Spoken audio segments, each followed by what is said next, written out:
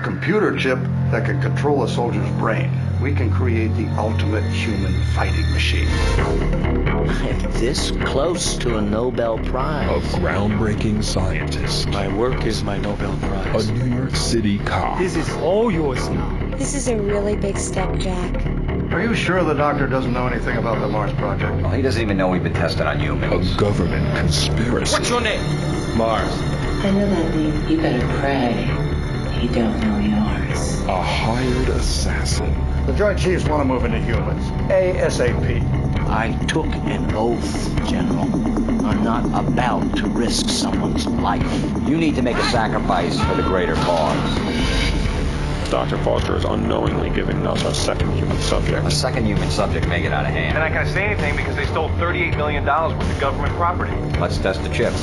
Jack is a walking time bomb. It can self-destruct any time, any place. You were out of control. I can't help it. They have security there. You're just not going to be able to walk in. 60 seconds to completely evacuate the building. Where's Dr. Foster? The bomb's in his room. Terminate target. When technology is more important than humanity.